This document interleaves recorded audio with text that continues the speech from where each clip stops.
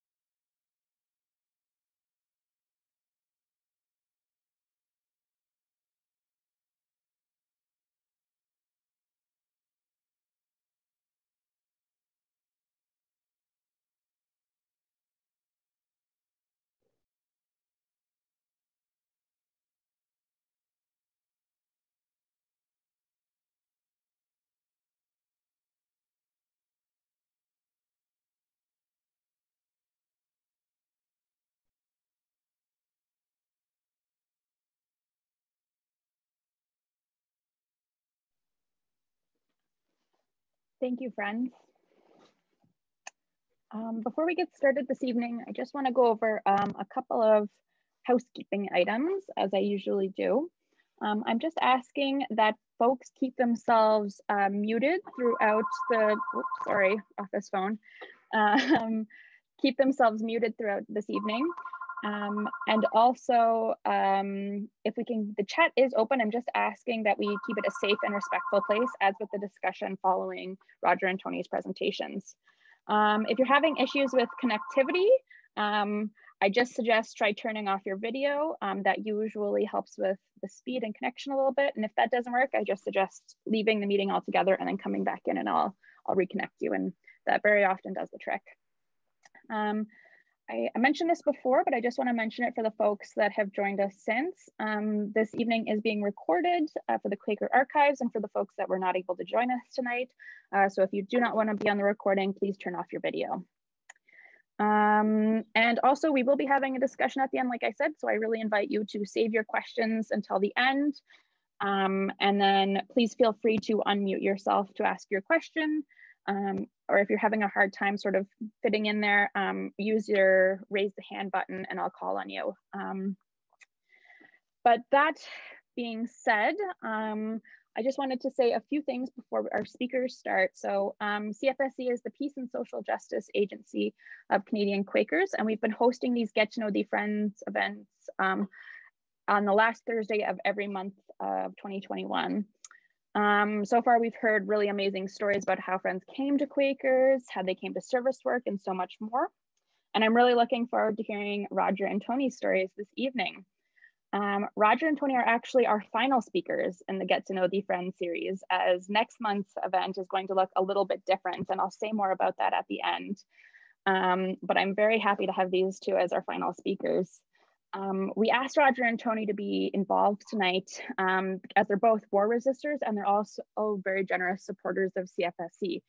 Uh, and I can't stress enough how much we appreciate our donors and how absolutely crucial they are to the work that we do and the work that you've been hearing about for the last 10 months. Um, because we have two speakers and I want to give them as much time as possible, I'm going to let them introduce themselves.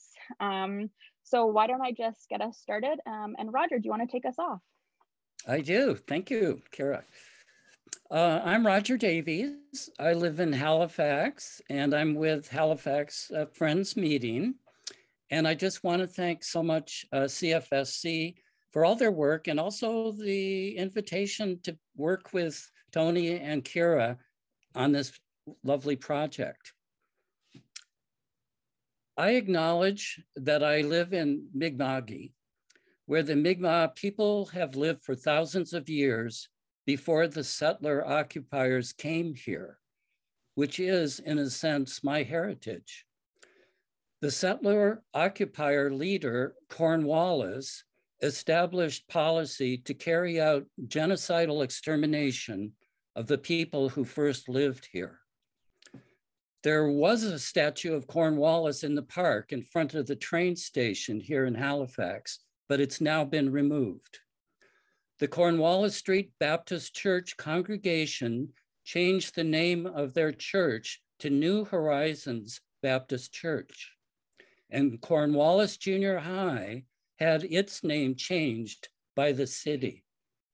There is some progress being made, bringing the truth of this place to light. So Kira, if you could put up the first slide for me, please. So, uh, friends, when I was invited uh, to participate, um, the first query that came to me about this was, What canst thou say in 20 minutes? So I started to do a bit of, of thinking, and various things popped into my mind. You can hopefully see them in kind of a circle around there. So I'm going to mention a few just quickly now, and then proceed through the slides with a little more detail about some of these topics of, of my experience that I'm bringing. So you see up there teaching, when I when I first arrived in Canada, I went to Teachers College in Toronto, and uh, there I met my Canadian wife, Judith McQuaid, and uh, we then set out for Newfoundland to a little outport where we stayed four years. Our daughter Gwen was born there and uh, taught school. And then we decided, well, time to get to a bigger city. So we moved back to Halifax.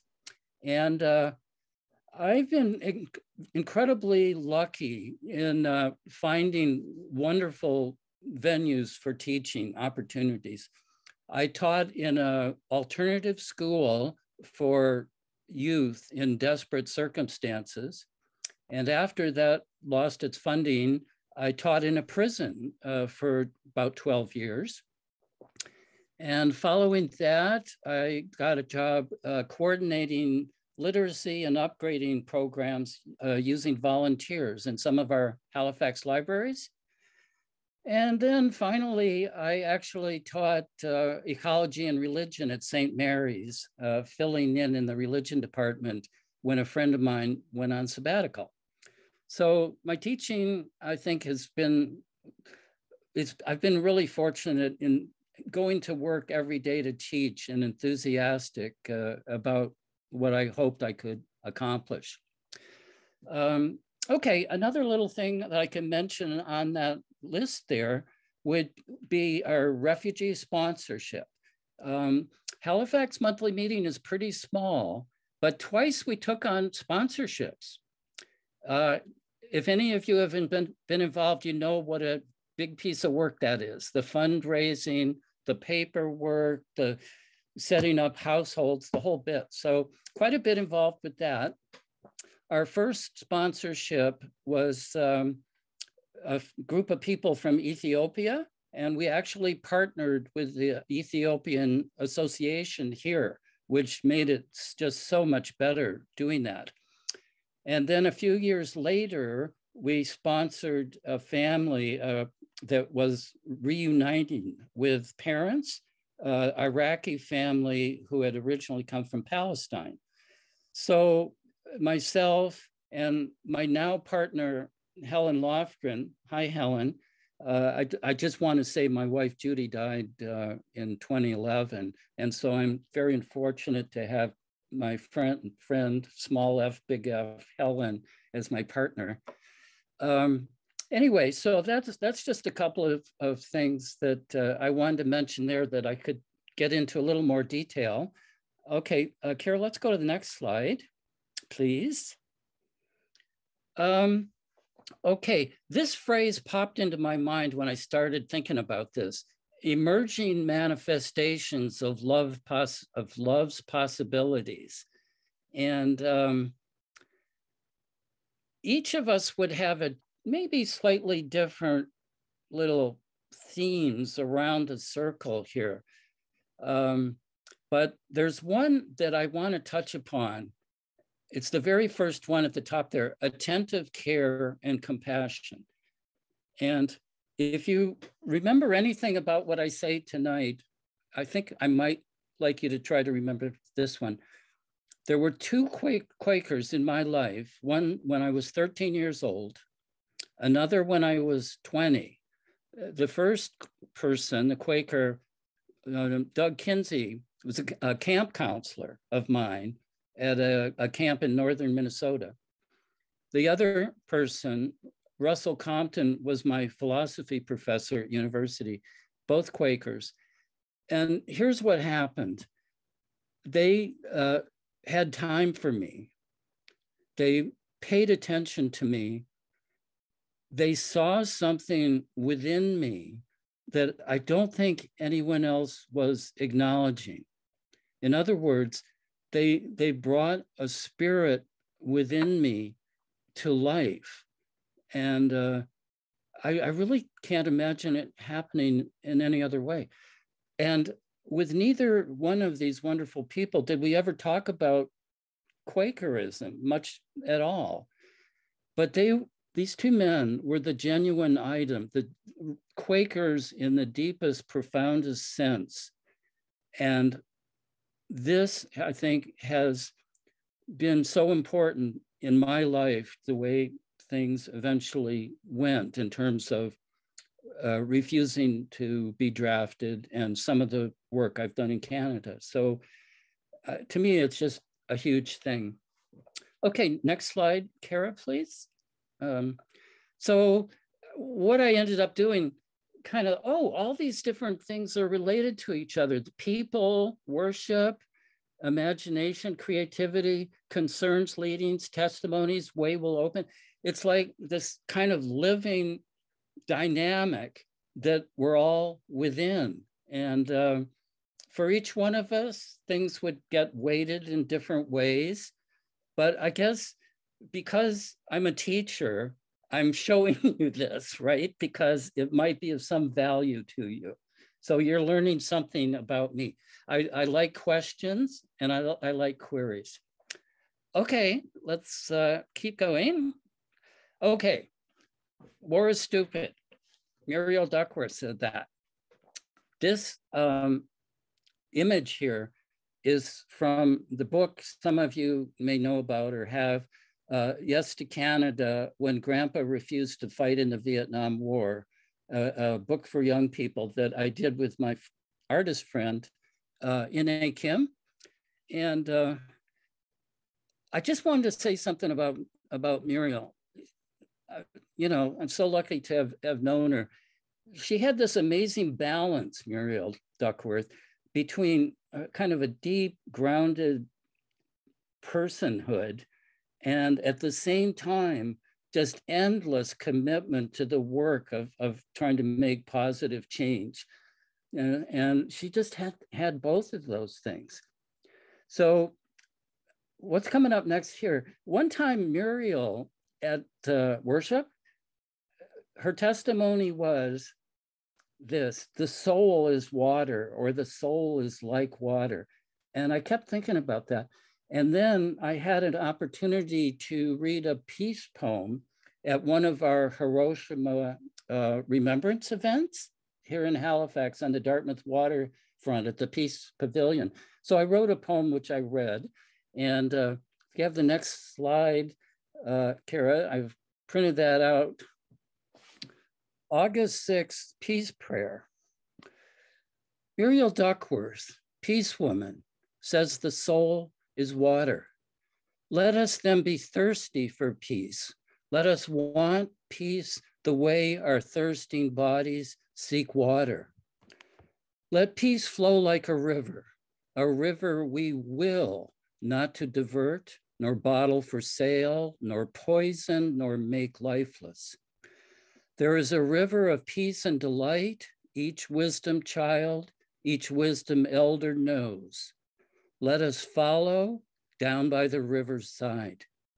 The sound of peace is the murmuring of the stream. In the river of peace, the gentle souls and the tormented souls and the disembodied souls of war float by, voicing the invocation the dead have always whispered to the living, enter the waters of life, shun all others. Upstream, there is fresh snow melt. It is the peace filled desire of the yet unborn. The voices asking for one fulfilled life for each precious soul. We are given the gift of listening. We are given the gift of hearing the whispers of the peaceful word when we close with no regret the book of fears and the book of force. There is an earthly place of voices and listeners that does not stop us dead in our tracks, but floats us, cradles us. It is this very earth, this very moment. When life speaks, draw close. There is nothing to write down, after all, for it it is the open hand and the tender voice of peace we seek and offer. Amen. Next uh, slide, please, Kara. Okay, here we are, uh, CFSC. Um, down in the lower corner there, you, you can see on the slide the uh, counter recruitment pamphlet that Orion and I and others worked on that's still around. And uh, that was when I was on the board there. And I was on the uh, criminal justice uh, group because, you know, I had experience in a, teach, working in a prison. I knew what incarceration did to people. Anyway, we worked on that counter recruitment and um, we, we distributed some of those in Halifax and I think they were used elsewhere. And it might be fun to revisit that uh, possibly, Kara. What do you think? And, and see if it needs a, a few changes, a couple of tweaks. Um, such wonderful people, you know, employed at CFSC, but on the board, volunteers. You know, there's Matt's amazing work and Jennifer's endless work to get the declaration adopted and acknowledged. Just incredible commitment. And uh, and many others uh, as as well. And um, boy, it's just good to know amongst the small numbers of Quakers in Canada, we got we got this going for us. So I totally support it. Now, I'm going to say right now, uh, this book, Yes to Canada. Uh, what I'm going to do, if anybody wants a copy, I'm happy to send you uh, copies. Uh, and I would ask you, as you're led, to make a contribution to CFSC. So if you want to put in the chat, maybe, Kira, just yes to canada.ca, which is the website for that book. And you can contact me through the website. There's a, there's a way to do that. So um, have a look at it and see what you think. Okay, how am I doing for time, Kira? I'm okay. I'm okay. Okay, let's keep going. Next slide. Okay, so this is also from from that book.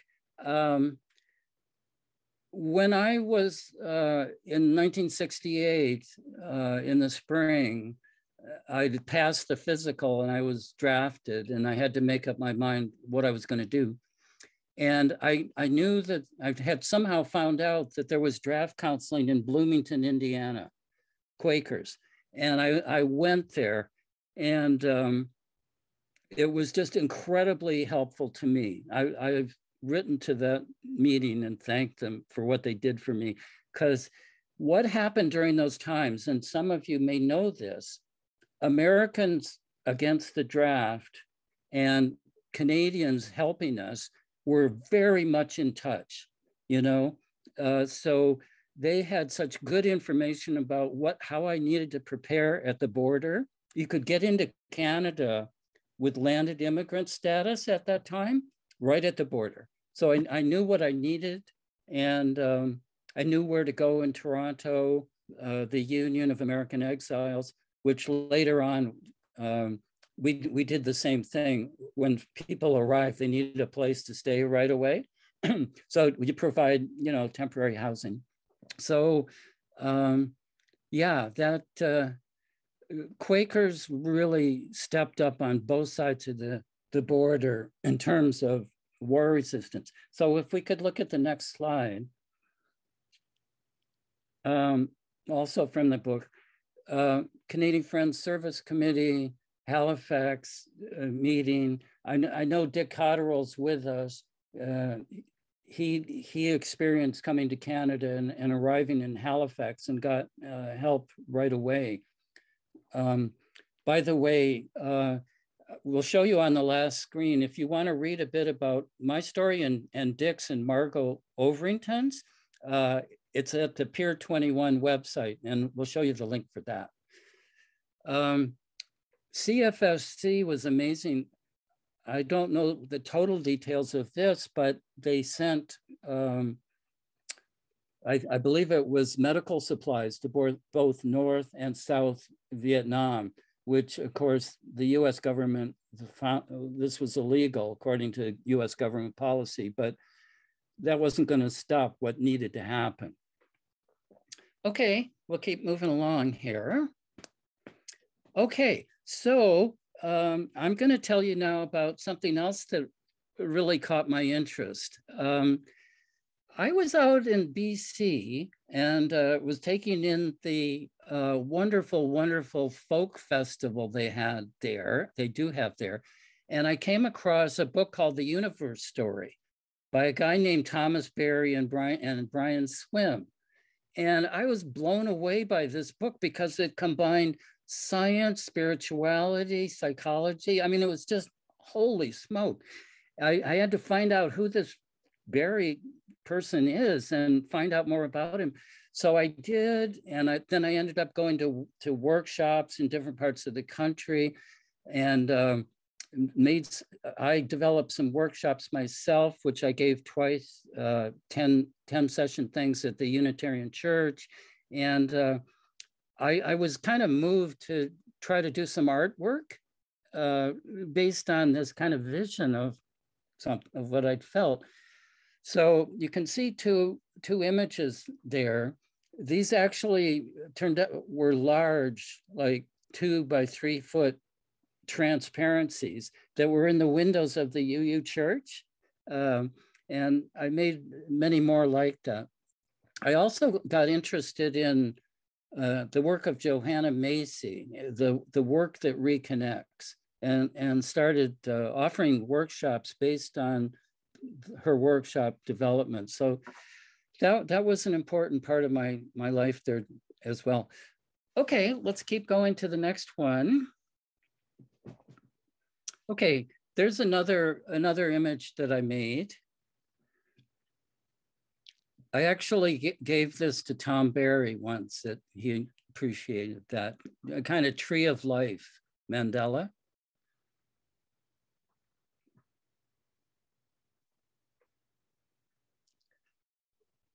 Okay, next, next one.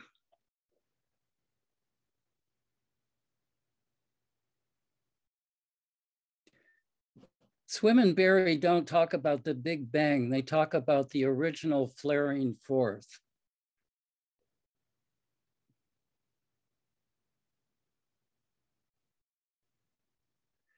Okay, here we have, um, I'm starting to run out of time maybe.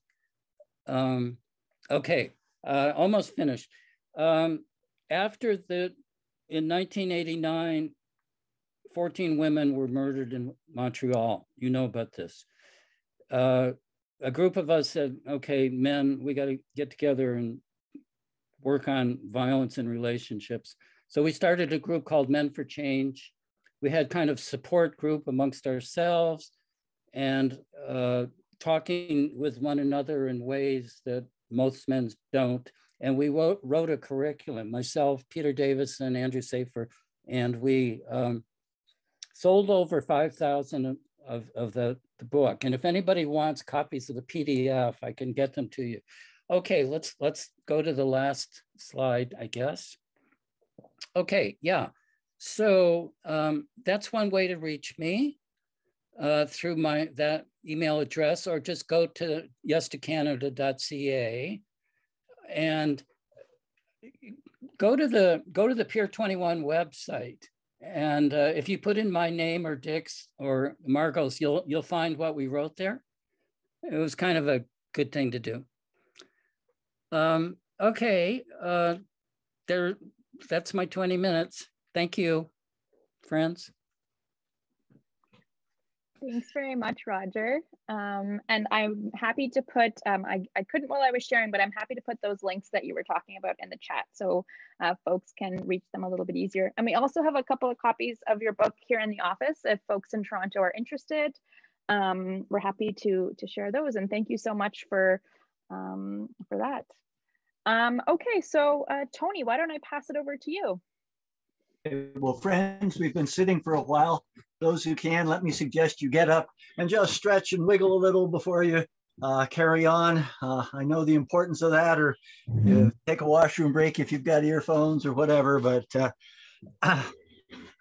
I'm hoping you're not going to go to sleep on me, so I thought maybe we should wiggle a little bit before we uh, get started.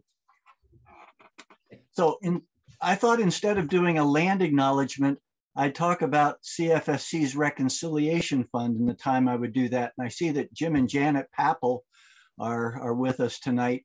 um, Fran and I and Jim and Janet were driving to FGC and we're, we were reading Rupert Ross's book, Dancing with a Ghost, which shared a bunch of his experience um, with Indigenous peoples in Northern Ontario and some of the remarkable wisdom and insights that he gained from that.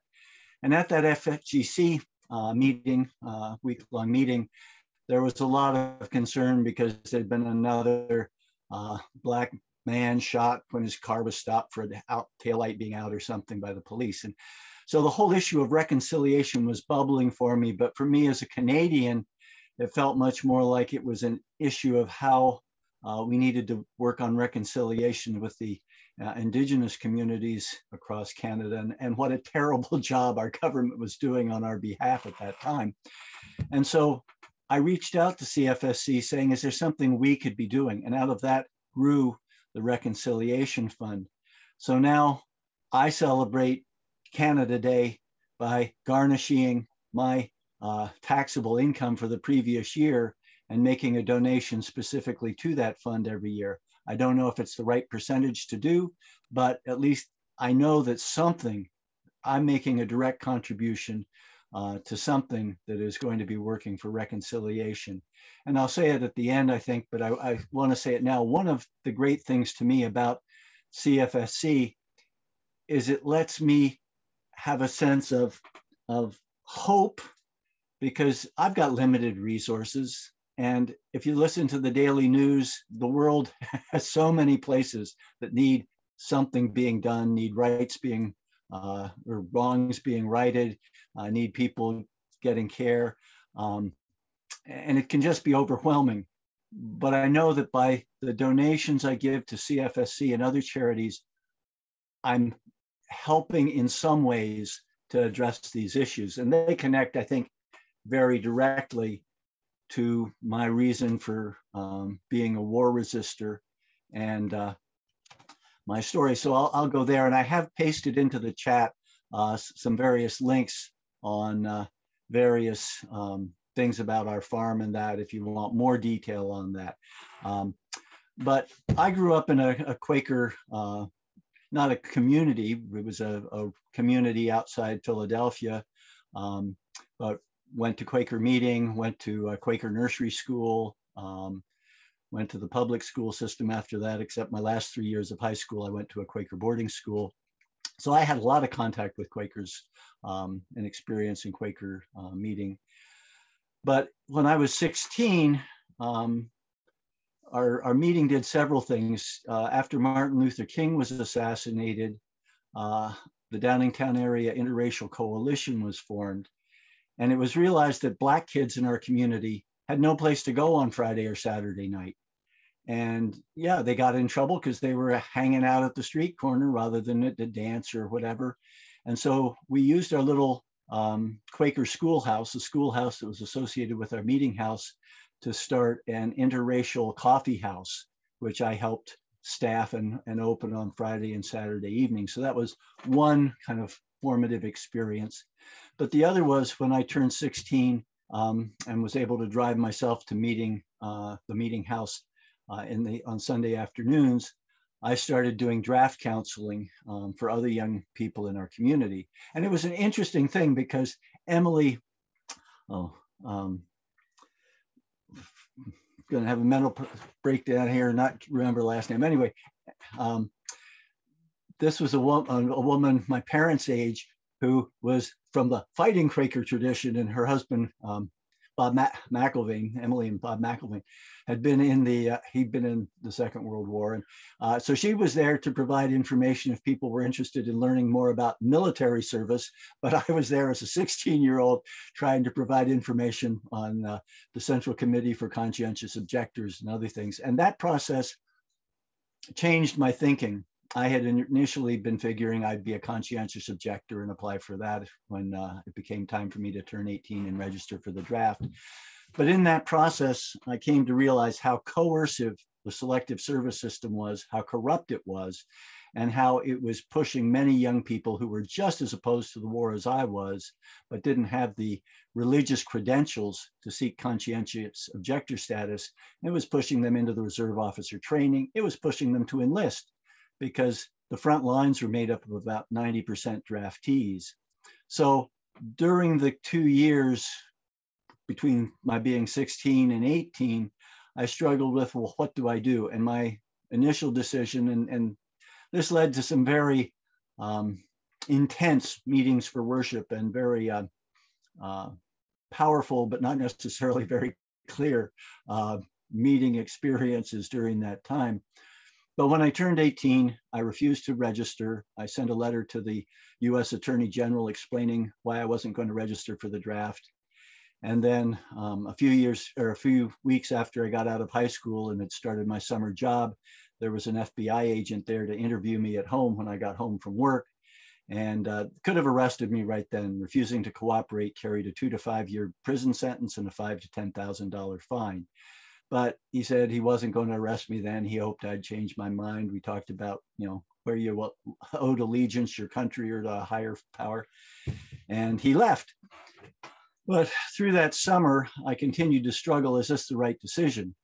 And there were a couple of things that then ended up leading me to Canada. Uh, the first was the realization that after I got out of prison as a draft war resistor, I was going to have to be a tax resistor because the tax system was what made the, the technological warfare system and the whole, whole thing possible. And that certainly started to make me think, am I really, am I really in tune with this uh, country? Uh, and the second thing that came along was my mother had found a, a book which documented the uh, prison uh, administrations uh, putting war resistors in places where they could be physically and sexually abused by other inmates. And this started to make it look a lot less like a Gandhian experience and a lot more like just um, a pretty uh, destructive thing. And I think the third thing that came for me is it was a pretty depressing time. I thought we might all be blown away in a nuclear war within a couple of years. And I thought, well, is the, am I going to feel I've done the most I could with my life holding on to the prisons was looking at mushroom clouds? And so I decided to emigrate to Canada. I registered for the draft, sent my card back immediately. Um, there's somewhere in their files a, a, long essay about why I was registering and how I was going to send my card back. And uh, I applied to enter Canada um, long before I was drafted. And one of my happy experiences from that time was driving up to the New York uh, consul, Canadian consul, to put in my application and I'm filling this thing out. And one of the things is, you know, one of the questions he asked is, well, why do you want to come to Canada? And being an honest little Quaker, I told him, you know, I was opposed to the war in Vietnam, thinking, boy, this is dumb. Government officials are not going to smile on somebody who's not willing to just get out there and support their country, right or wrong. And after I finished my little spiel, he said, well, not everyone agrees with US foreign policy. And check the boxes. Okay, pass that question. Uh, you know, I'm going to like it here, like Annie says when she's at the mansion, Little Orphan Annie. I thought, well, this may be good. And so I flew into Canada before my 19th birthday, um, stayed with a Quaker couple uh, in London, Ontario, Ernie and Ida Stabler. And uh, I, I had been working as a hired hand uh, that fall because I didn't go to university um, because the university I was scheduled to go to said if I got arrested, they would not refund my tuition, nor would they refund my dorm costs. I thought, well, I'm expecting if I stay in the US and go to university, I'm going to get arrested this fall anyway. So why go? So I worked on a, as a hired hand on a dairy farm um, that fall, the fall of 1970, and then got a job as a hired hand uh, in the Goderich area on the dairy farm in that uh, winter of 1971. And the first night or two there, you know, it was very lonely, felt a long way from home. But as I settled in, um, I, I, felt like I was a Canadian after a couple of weeks. Um, uh, the uh, the sort of hate stares and I, I, think it may be nothing the way the U compared to the way the U.S. is polarized now, but there was certainly a lot of pol polarization at that time. A, a, young guy with a beard and long hair walking around the streets of a town would get hate stares from little old lady, but walking around the square in Goderich, uh, people would say, "How you doing?" or "How are you?" as they walk past you. Um, and I think for me, it's not only refusing to participate or be part of war. I think our, our comment of trying to take away the root causes of war are a very important one. And that certainly has fueled um, much of the things that I've worked on over my life. Um, and I think the biggest chunk of my life, in a sense, has been trying to take away our sense of war with the environment, um, particularly in agriculture. Um, I worked as a hired hand. I went to university, both took some agriculture courses and environmental science stuff, and uh, became very interested in organic agriculture or ecological agriculture, what we're now calling regenerative agriculture. But it's basically a, an approach to agriculture that says, how do we learn from nature, mimic nature to produce what we need as people for our sustenance, but in a way that, that preserves or even enriches the ecosystem and the environment on which we all depend. And so that has been a very big part of my life um, since coming to Canada. Uh, Fran and I helped form the Ecological Farmers Association of Ontario 42 years ago, which was at that time, there wasn't the internet, and it was very hard for people interested in, in farming ecologically to find any source of information. And we formed this little organization with a, a handful of people initially. And I'm proud to say it's grown to an organization that actually has some staff and has about 500 members and is working with a, a group called uh, Farmers for Climate Solutions to um, help us make a much more rapid transition because um, as, as human beings, we connect to the environment every time we take a breath, every time we take a drink, and every time we take a bite of food those are very real direct connections to the ecosystem, to the environment. And they're the way we create ourselves, the way we build our physical bodies. And the one where we can have, I think, the most impact is most of us aren't buying air now. Hopefully, most of us are not buying water, but are just drinking water. Um, but when we buy food, that's a chance to either vote for an agriculture that's depleting soil organic matter and sending nutrients off to the Gulf of Mexico and the Gulf of St. Lawrence, or an agriculture that's building soil organic matter, which is in fact sequestering carbon by photosynthesis into soil carbon and creating a, a much richer and biologically uh, rich and nutritionally rich uh, food system. And so, you know, I've, I've worked on that both with the Ecological Farmers Association, the National Farmers Union, um, but the other areas, um, and, and in a group called the Collaborative Regional Alliance for Farmer Training, which was an organization of ecological farms that took interns and apprentices trying to help train people in a type of agriculture approach that wasn't really available in the ag universities at the time. So um, that's that's been a very important part, but there are several other threads or, or strains to my my life experience, and that was as a young farmer and somebody concerned about the environment. Uh, the late 70s were a very difficult time because our government was fighting inflation that was caused by energy price increases due to the OPEC oil embargo and then some other uh, projects of, of the oil cartels to, to you know quadruple the price of, of crude oil. That was very inflationary, of course. It was inflationary because not only did it cost the, the initial fuel, but all the things that are part of the um, supply chain that depend on fuel. And yet we fought it with high interest rates, um, which was totally ineffective. Um, and, and it was the New Democratic Party that was calling for a made in Canada interest rate policy that, that reflected the actual risk that lenders faced when they were lending in Canada to fairly secure farms and homeowners and small businesses, and an energy policy that would have seen us making a rapid transition uh, to uh, energy efficiency, conservation, and renewable energy. So in 1980, I ran uh, federally for the NDP in Huron Bruce and have had a 42 year um, association with the NDP, um, which for a while was my uh, both my political and to some extent my spiritual home because we didn't have a Quaker meeting locally. We were involved in um, Kitchener area monthly meeting.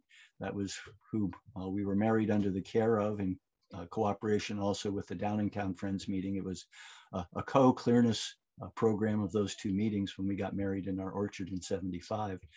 But it was also the NDP that helped us start the Lucknow Worship Group because after the 1980 election, one of the people who'd worked in that election, he was either the 80 or 81, was Brent and Carol Boyer. And uh, after the election was over, we called in to have a visit with these people who we'd met through the uh, political process, and they had a copy of the Friends Journal sitting on their uh, coffee table. And we said, Oh, what do you know about that? And they said, Not very much, but it's very interesting, or something like that. And so out of that grew the Lucknow Worship Group. And initially it was basically the Boyers and the McQuails and our kids getting together for silent meeting for worship under the care of Kitchener. And it's now grown into a, a small worship group of between six and 10 uh, families at, at times. Um, so that's, you know, become a very um, important part of our spiritual home and, and where those lines that uh, Roger had all interconnecting and intersecting, one of, one of those examples of how those lines interconnect. Um, the other, and so for me, in, in part, the effort to create a more socially just society and a more equitable society, which on the political side is my NDP involvement, is part of that trying to look at, at the root causes of conflict, violence, and war in our society. Um, but Fran also, Fran and I also got involved in Friends General Conferences, a couple enrichment program first by taking uh, one of the couple enrichment weekends and then getting trainers to serve as leadership couples. And um, we also uh, became involved in uh, a farm management program called Holistic Management, which was one of the early triple bottom line programs uh, which talks about healthy land, healthy people, and healthy profits or healthy income.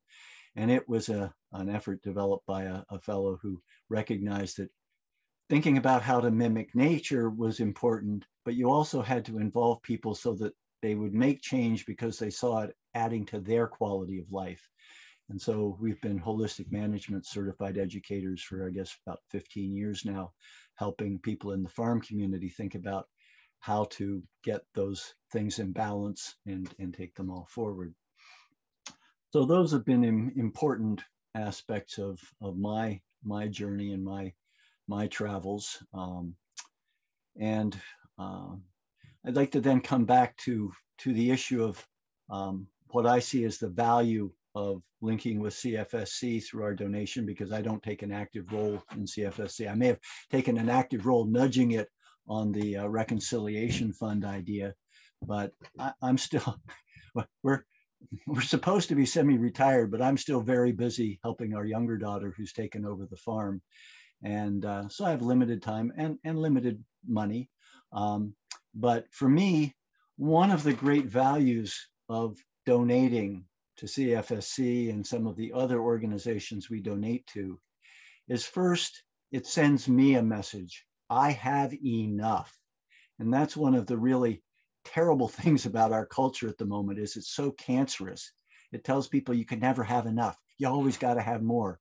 My father was an accountant, and he said one of the really strange things dealing with some very rich people, he did uh, Mrs. DuPont's account in Wilmington, Delaware uh, for his firm. And I'm not sure this was Mrs. DuPont's position. He said, you know, rich people never think they can have enough. They always want more. And that's the problem with money is, you know, if you're eating, pretty soon your stomach tells you if you have enough. And if you keep eating, it'll tell you much more violently that you had too much. But with money, we can keep adding zeros. And so it's a terrible way to keep score. But for me, if I can donate to CFSC and some to Greenpeace and some to the NDP and some to Friends of the Earth and uh, some to you know various other organizations, it's telling me I have enough. And that's a wonderful place of personal security. I've got enough to share. And to me, that's an important thing. But it also gives me a sense of hope because I could despair very easily if all I did was listen to the news and didn't do anything else. But by working with, through my donations, other people sharing and working on this stuff, it gives me a sense of hope. And it also gives me a bit of discipline because if I give away money, it isn't sitting in the bank saying, hey, spend me on some indulgence. You know that that thing that you went down the rabbit hole on the uh, internet um, that looks so interesting and good. If you give your money away it reduces your ability to be a consumer. And consumerism is one of the cancers of our culture. And yet, there is a very, I, I, think, explicit message that if you've got it, you should spend it. You earned it. You deserve it. Go out and spend it on stuff. This is how you, you know, pat yourself on the back and give yourself a sense of, of meaning and purpose. Well, I give it away, and that gives me a sense of meaning and purpose as well. So that's why I think um, donations are, are valuable to me. They they further reinforce any efforts at simplicity that I have. Um, so um, that, that's a little bit about me and, and how I think and how I, I work on this. But uh, I would say to each of you, in terms of the, the, the big crisis we face, and COVID is not the big crisis we face. The big crisis we face is an economy and a mental picture that sees us uh, destroying the ecosystem on which we depend. And in my political stuff, if you go to the, the political federal riding nomination speech of 2019, you'll see me holding up my, my banner of Hazel Henderson's cake chart, which she said, she was an economist who said, I'm tired of pie charts. I want a cake chart. And so she made a cake chart and it was a layer cake. And the bottom layer was the ecosystem and the environment. And the next layer was what she called the love economy, the family and the community and the unpaid and the unwaged stuff that we all do for each other. And the next layer of the cake, and now we're getting into the money stuff that G, GDP actually analyzes and counts. But she said, you know, that's that's the public sector all the stuff that we do for ourselves collectively through government and, and that. And then on top of that is the private sector. And she said, the important thing to remember is that each layer depends on the ones below it. And of course, we've got our cake turned upside down. If you listen to the news and they give you all the stock market stuff and act as if that's what's really important. So that bottom layer, the ecosystem, is in grave, grave danger. And that means we're all in grave, grave danger. And anybody who thinks that we're going to have an economy without an ecosystem uh, has shit for brains, in my opinion. Um, but and is going to have no no place left. So um, think about your food choices because that's the way you directly connect with the ecosystem each and every day. And are you making choices that support an agriculture that's sequestering carbon? Because to me, a regenerative agriculture is likely the most cost effective way we can both try to reduce the severity of climate change by moving more and more carbon dioxide out of the atmosphere and into the soil and create resilience which will mitigate against the flooding and the droughts that we're likely to see because as we increase soil organic matter we increase the porosity of the soil to hold water and take it in during severe rainfall events reducing flooding, and hold on to that water so that when the flooding stops and the drought starts, the moisture's there in the soil rather than having been rushed off into the rivers and off into the ocean. So um, to me, it's both a very hopeful and very important thing. And I didn't put them up initially, but I will, as we're doing the chat, pull up the information on uh, a little uh, video on uh, Netflix called Kiss the Earth and also uh, Farmers for Climate Solutions. And I'll put those, if I uh, can find them in a timely fashion, into the chat. But thank you very much for your time. Uh, my wife uh, in meetings is always at the back going like this, time, time, shut up. You've gone on way long enough. So thank you for joining this event and uh, I'll look forward to your questions. Thanks very much, Tony. Um, and thank you, Roger, as well. Thank you both for your openness and your sharing of your stories and, and for the time and effort that you put in uh, for tonight. And I'd like to open it up to questions and comments for uh, Tony or Roger. Um, so please feel free to um, unmute yourself and speak or raise your hand and I'll call on you. Um, but just to get us started, um, I wanted to ask a question myself, and this is for either one of you. Um, but as you're both war resistors, I wanted to get an idea of what was most helpful or most useful to you during your time of when you were going through the actual process of resisting war and and moving to Canada. What was most what was the most useful kind of support that you received? Um, and um, how might we be able to offer the same um, sort of support to others? Because one of the projects that CFSC does work on is um, helping an organization in Israel Palestine that helps um, war resistors there. So how might you um, how might we support that or what was most useful for you? I would say probably really detailed information. You know, I mentioned in my little talk how amazing the Bloomington Quakers were. They set me up with, with the knowledge that made a difference. So detailed procedural stuff, make it simple, but make it detailed enough. I guess. And the other thing is, though, as I mentioned, those Quakers were in touch with the draft resistant uh, support groups here in Canada.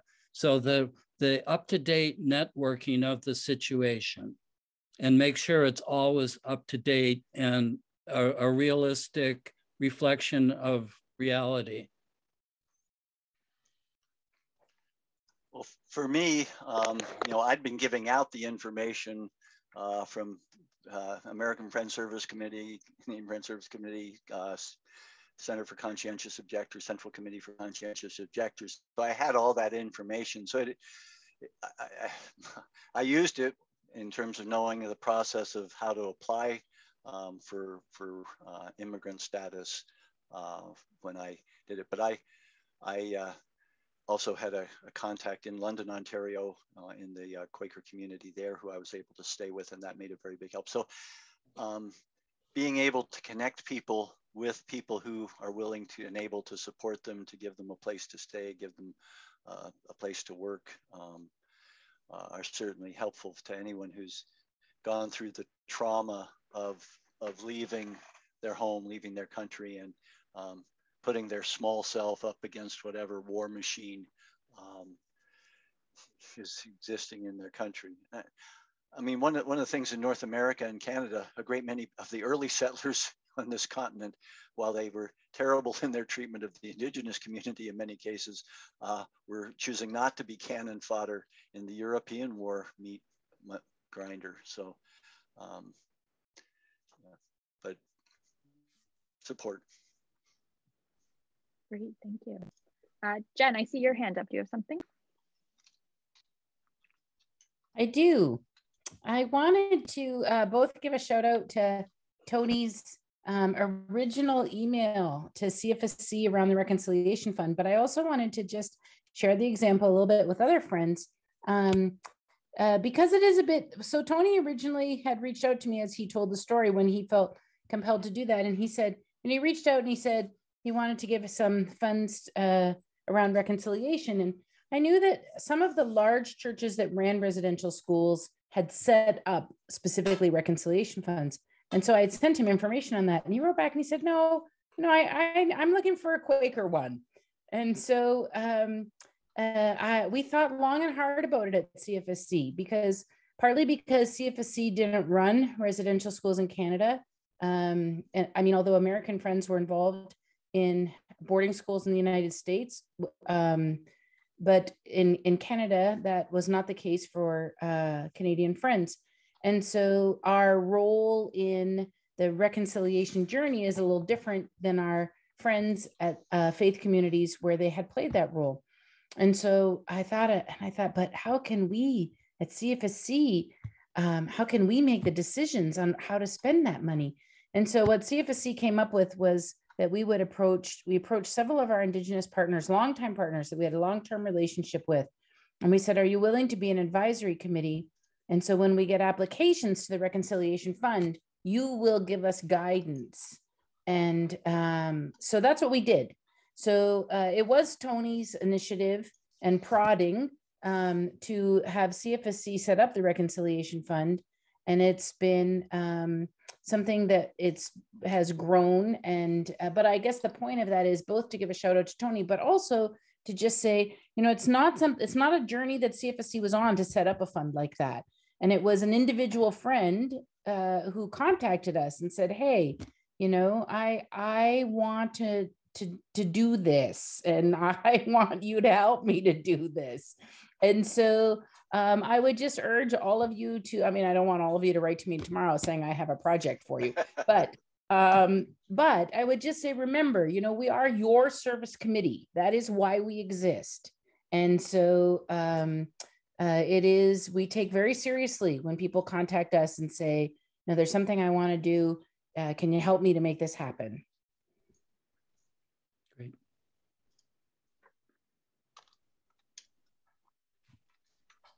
Thanks, Jen. Um, and thank you again, Tony, for that. We have a um, a really nice reconciliation fund, and we've already given out a couple of grants uh, this year for it, um, and a bunch over the last couple of years. So it is, um, it's doing really well, and it's supporting some really good Indigenous-led work. Um, so thank you for that.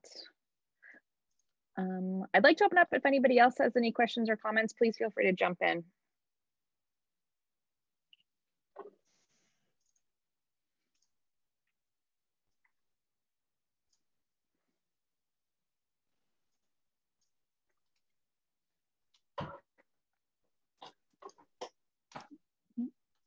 Hi, Roger and uh, Tony.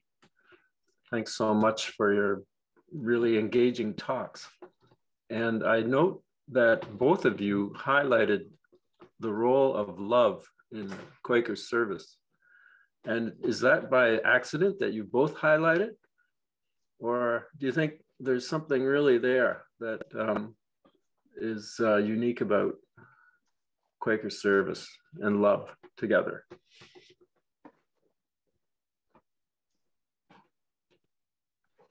Either one of you or both.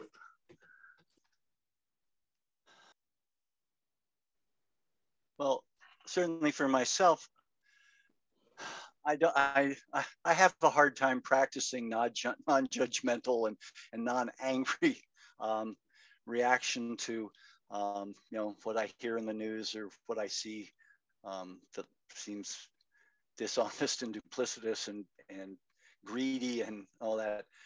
But I do think if if we're going to connect with people and build something, that those are not emotions that are very um, helpful.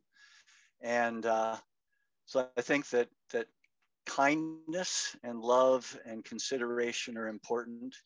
Um, and that um, one of the things that my father said to me um, was and I mean, he, he had served in the Second World War in the Navy. He came from a Roman Catholic background. He came to Quakers uh, after, um, though he'd had contact with Quakers in, in his youth and in his educational experience. But, um, you know, he said to me, war just sows the seeds for the next war. Um, and he felt very much that the First World War had sown the seeds of the Second World War.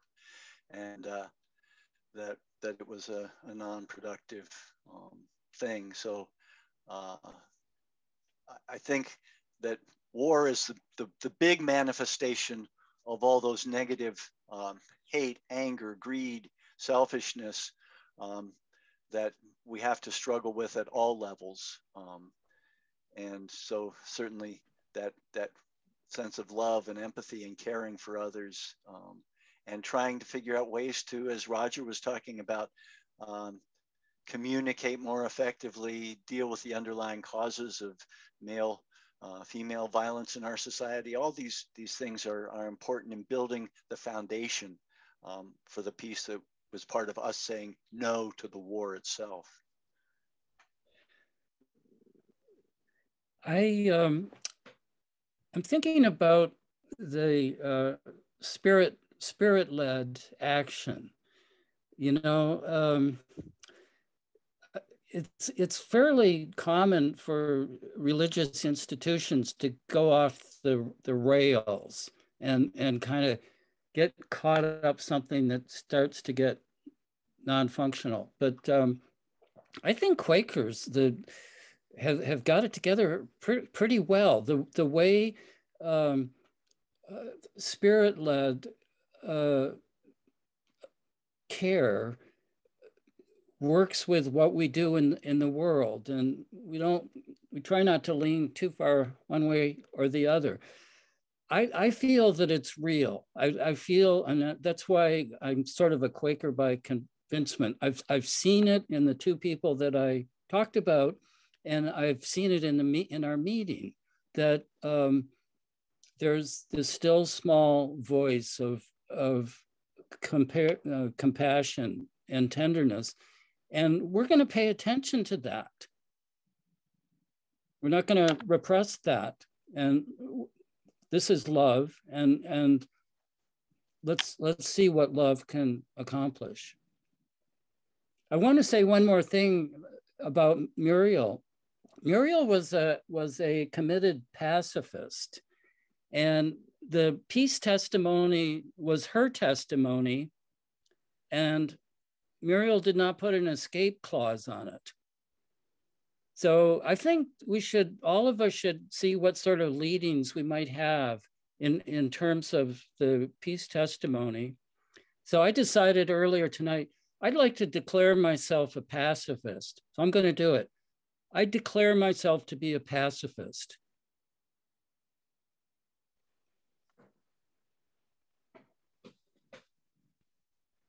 Thank you, Vince, for that question.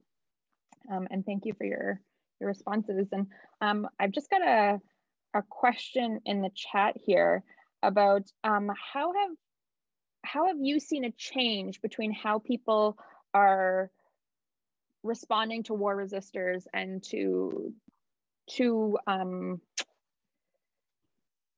to the concept of peace since when you were originally a war resistor um, to now what's what kind of changes and attitudes have you seen throughout the years?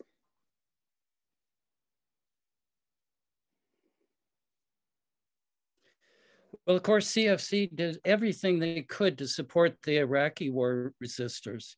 And there was so much public and government oppression you know? Um, I don't I don't know. I, I certainly worry about militarism and the kind of send up of, of the militaristic notions of, of things.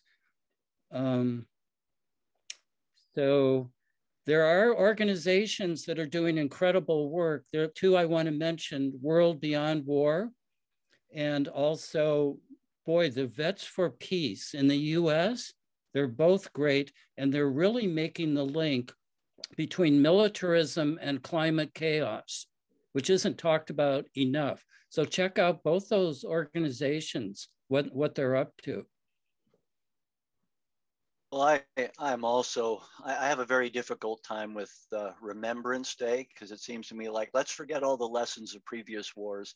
Let's just get on the bandwagon and say how, you know, I don't want to remember our glorious dead. I want to remember our horribly sacrificed and wasted dead um, who are both in uniform and now with technological warfare, the 90% who never had wanted to do anything with the war, but happened to be the collateral damage.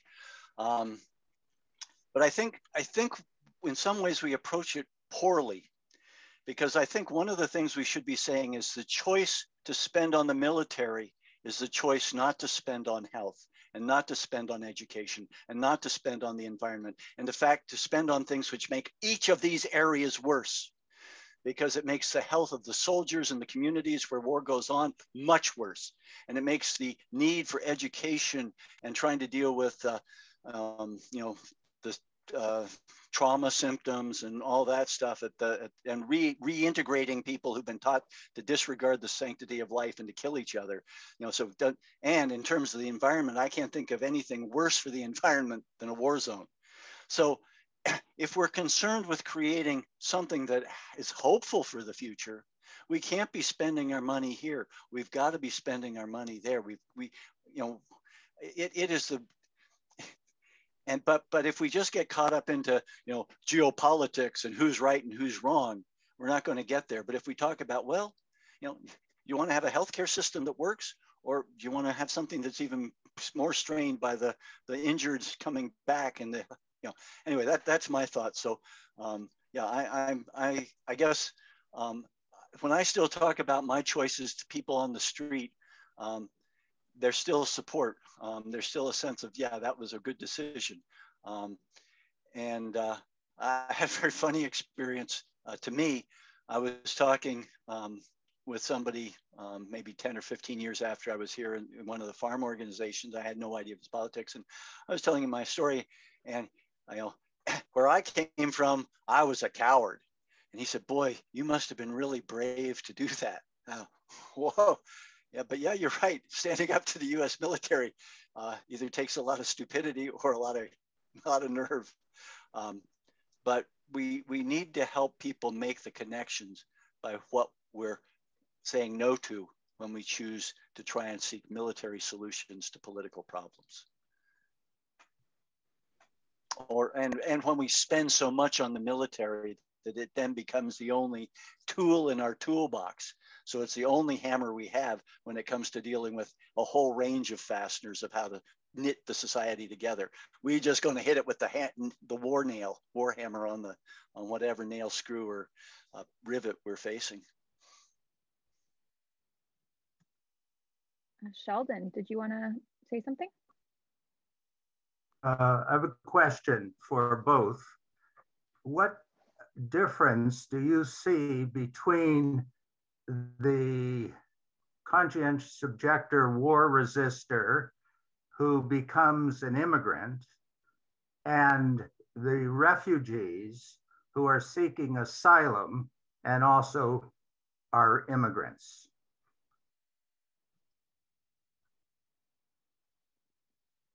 I, I don't see much difference. We're yeah. both displaced persons by the violence in our societies. Um, and they, they, in many ways, faced a much more difficult and much more direct experience than I did. Um, so, in terms of figuring out how to deal with them with compassion, I think is important. Uh, and hmm. to, to recognize that if, if we don't deal with the big underlying issues of how to take away those causes of war, how to deal with the displacement that climate crisis is going to um, create, uh, we're going to be facing a lot more of this sort of displacement and refugee situation.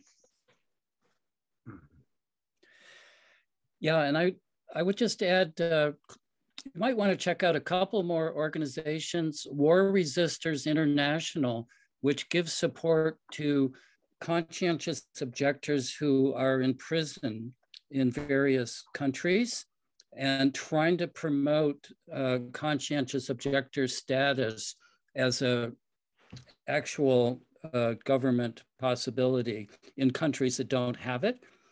Uh, there's also an amazing website, refuser.org, which is supporting Israeli uh, refusers, these very courageous young men and women who will not go into the Israeli army and uh, oppress Palestine. Um, these are these are the people today that are courageous and deserve full support. I think.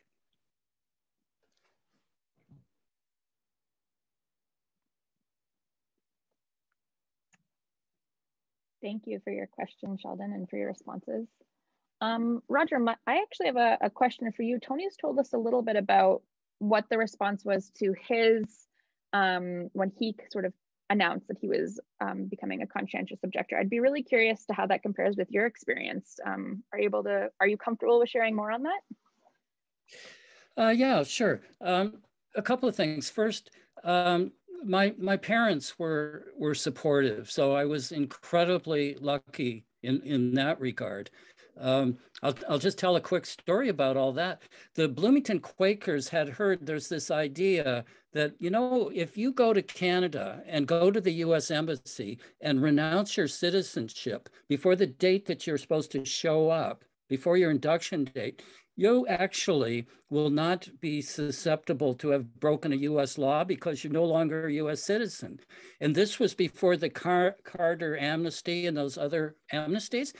So I did it. Within three days of arriving in Toronto, I went to the US embassy or consulate and told the told them I, I want to uh, no longer be an American.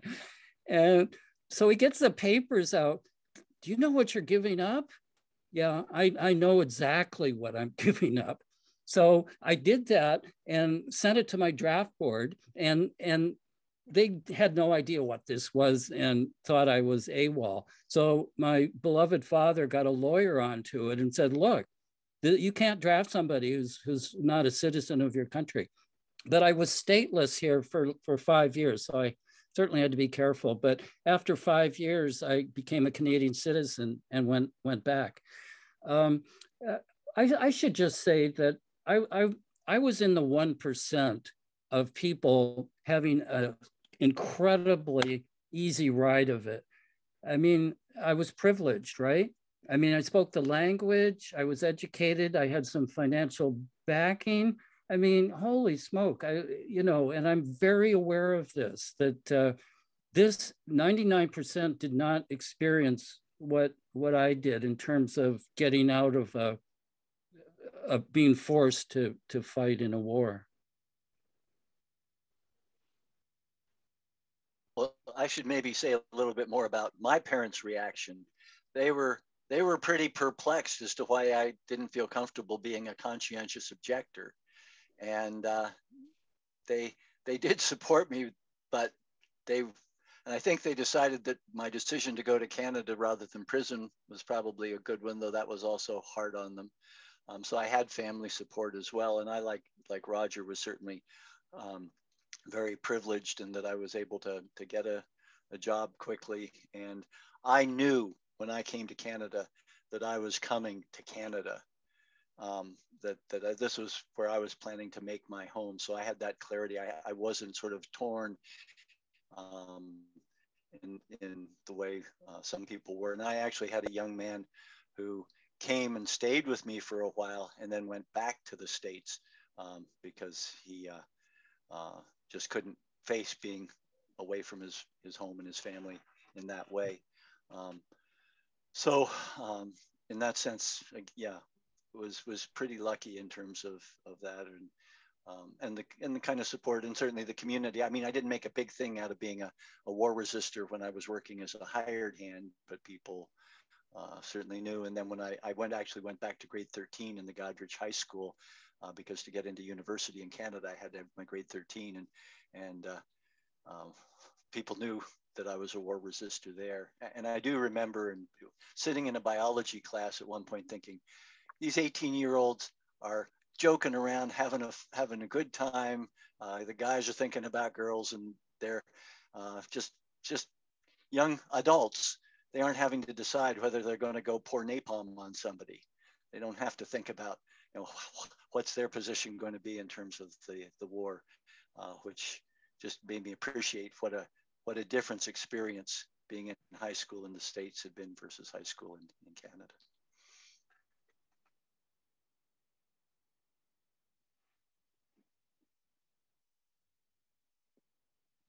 Thank you. I want to give it a few minutes because I feel like I've been asking all the questions. So I want to leave a little bit of time to let other folks uh, jump in here if you have anything. So please feel free to unmute yourself or, um, oh, Carl, you have your hand raised. Do you want to speak?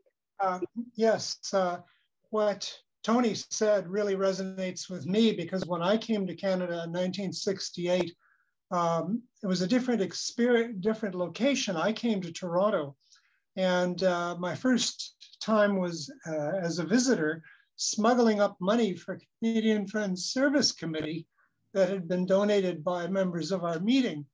And uh, Lyndon Baines Johnson had forbidden any mail to be delivered to Canadian Friends Service Committee or to Kathleen uh, Hertzberg or to Ursula Franklin because of the war, uh, the, the aid to the Red Cross societies of North Vietnam, the National Liberation Front in South Vietnam. So I smuggled up some money and uh, I wound up uh, staying at friend's house and meeting the giants that walk the earth. Um, uh, Mary Thompson, Ursula Franklin, um, the, the, the, the whole group of people, the, the Abbotts and the Newberries, and uh, Jo Vellacott, and it was just like a different world. And my age mates here in Canada, we're saying, well, now, who do we think will be the top nation to come? Britain is done, and um, the United States is, is definitely on the way out. And this, this mode of thinking that the United States would not forever be on top of the world was just so different from what it was in the United States. And it was just such a liberation to be here. Um, the Germans have a uh, saying, Stadtluft macht frei, city air makes you free. And uh, Toronto's air was like that for me.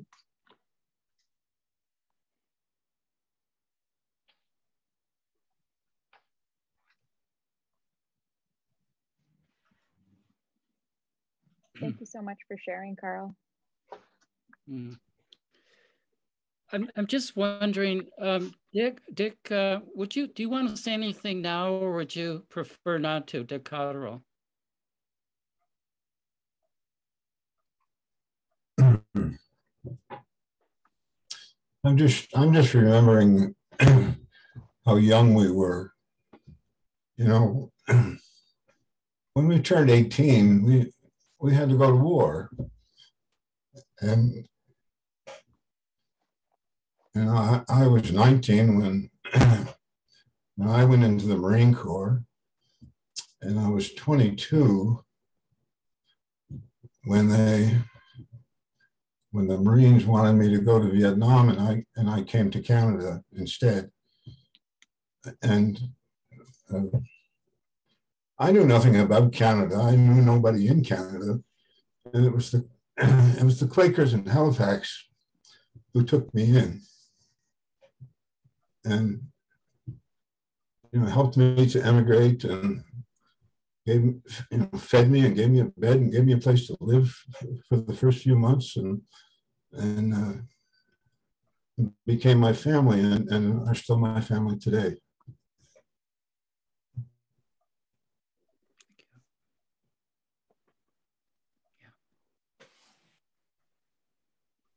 Thank you for sharing, Dick. Um, and I recognize that there are, are likely a few other war resistors um, joining us tonight. Um, and so please do feel free to speak up and share. Um, I did, um, I know Dick a little bit better than most because he was a member of CFSC. And um, I didn't want to put him on the spot, but I'm, I'm very happy that you, you shared uh, tonight, Dick. So thank you so much for that. And thank you for, for sharing Carl as well. Um, we're getting sort of close to the end of our time together and I had a little bit that I wanted to share still. So I'm going to um, jump in here, but I wanted to give Roger and Tony the chance to say anything else that that might be on your mind uh, before I, I close us off here.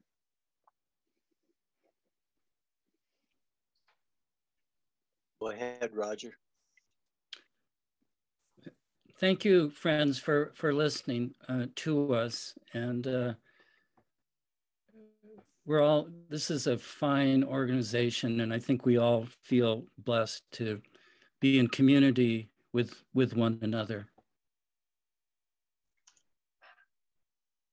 I think what I'd say in, in closing is that what my experience has has brought home to me is the value of following leadings, even if they're difficult, making an, the, the choice that seems right and ethical at the time. Because certainly the choice to refuse to cooperate with the draft and then the choice to come to Canada were hugely formative to the path that I ended up on. And as I look back on, I have some regrets. I have some things I didn't do as well as I could have, or didn't maybe behave as well as I could. But overall, um, I, I feel very content isn't the right word, but in terms of feeling free in my spirit and um, a sense that I've done what I could as best as I could um, is pretty strong. And, and again, having as we do the organizations that we can support where we can share our strength, share our values, and work together for the kind of world that would be without war, that would take away the causes of violence and conflict, and that would build the blessed community um, and the blessed ecosystem in which, that community might thrive, um, are, are what we can build together in ways that we certainly couldn't do it by ourselves. So um, thank you all for being here tonight, and may you uh, carry on with the work in the world that need, needs so desperately. Take care. Thank you, Tony, and thank you, Roger. Um, I can't tell you how much I appreciate you being here with us tonight. And we've had now 11 months of some really fantastic uh, speakers in our series. Um, and thank you, so many of whom are on the call. So thank you so much for joining us as well. Um, and there's been such uh, a depth of expression about different ways that folks have supported CFSC. Um, and thank you so much for all of the different types of support. Um, I wanted to let folks know that one very generous donor wanted to do something special tonight um, to honor the 90th anniversary of CFSC. So this donor has agreed to match any donation up to $500 um, for the next 24 hours. So if folks are interested in donating to CFSC, I'm gonna post a link in the chat. Um, and this, which means that if we get up to $500 worth of donations tonight, this uh, this donor will double it um, very generously. So um, if you're led, please do make a donation to CFSC in honor of our 90th anniversary. Um, and we would greatly appreciate that. And it's a really fantastic way um, of supporting the work that has been discussed over the last 11 months. Um, as I mentioned at, oh yes. Is that $500 total or $500 from each donor?